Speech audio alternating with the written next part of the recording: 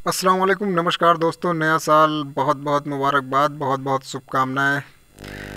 इसी के साथ दोस्तों, आप सब लोगों के लिए मैं अहम जानकारी लेकर आया हूँ कि भारत और सऊदी अरब के बीच जो अब तक लॉकडाउन के बाद से फ़्लाइट सर्विस शुरू नहीं हुई है, वो शुरू होने के आसार बन रहे हैं नए साल पे। तो नए साल पे जो लोग अपने घर आए हुए हैं, छुट्टी पर जो अभी तक फंसे हुए हैं, उन लोगों के लिए एक बेहतर खबर आ रही है कि भारत सरकार और सऊदी सरकार एयर बबल एग्रीमेंट के लिए बातचीत कर रहे हैं, वो जल्द से जल्द आप लोगों के सामने आ जाएगी। आप सब लोगों को पता है कि अब तक लॉकडाउन के बाद भारत सरकार चौबीस देशों के साथ एयर बबल एग्रीमेंट कर चुकी है, जिसमें अभी तक सऊदी अरब और सिंगापुर जैसे देशों को शामिल नहीं किया गया है। तो भारत की जो मिनिस्ट्री है सिविल एविएशन उन्होंने जानकारी दी है कि जल्द से जल्द भारत और सऊदी अरब के बीच, इसके अलावा भारत और सिंगापुर के बीच में भी एयर बबल एग्रीमेंट हो जाएगा। उसके बाद भारत से पैसेंजर आ जा सकेंगे, वहाँ के लिए कोई दिक्कत नहीं होगी।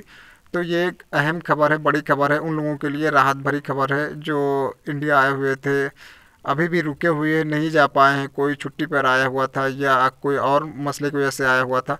तो वो समस्या ऐसा लग रहा है कि नए साल में दूर हो जाएगी, क्योंकि कई बार ऐसा हुआ है कि दोनों सरकारें ने इससे पहले भी बात की थी, लेकिन कोविड नाइन्टीन की वजह से वो चीज़ें आगे नहीं बढ़ पाई।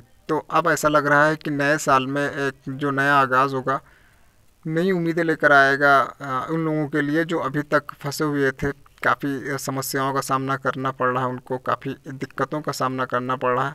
तो उनकी दिक्कतें, ऐसा लग रहा है कि नए साल में ख़त्म हो जाएँगी और जो सिविल एविएशन ने जानकारी दी है, उसके हिसाब से तो ऐसा लग रहा है कि शायद बातचीत अंतिम दौर में बिल्कुल चल रही है और हो सकता है कि बहुत ही जल्द एक सुखद समाचार सुनने को मिल जाए कि फ़्लाइट सेवा इतनी तारीख से शुरू हो रही है। तो हम दुआ करते हैं, उम्मीद करते हैं कि ये जल्द से जल्द शुरू होगी।